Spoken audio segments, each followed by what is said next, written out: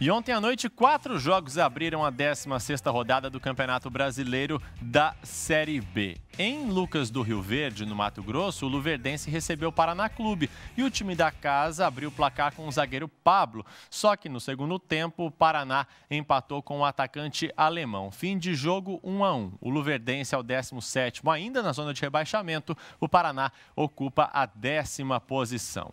Nos outros jogos, o... você vê a comemoração da equipe do Paraná Clube. Nos outros jogos, o América Mineiro assumiu a liderança temporária depois de ter vencido o Figueirense por 4 4 a 2 O Figueira está na zona de rebaixamento. O oitavo colocado, Santa Cruz, empatou em 1 a 1 com o décimo primeiro Boa Esporte e o Goiás subiu para a 12 colocação depois de ter vencido o Ceará fora de casa. O Ceará é o nono colocado. E a rodada começou bem para o Londrina, né? Porque mesmo com esses quatro jogos já finalizados, o leque continua em sexto. Hoje, os outros seis jogos completam a rodada.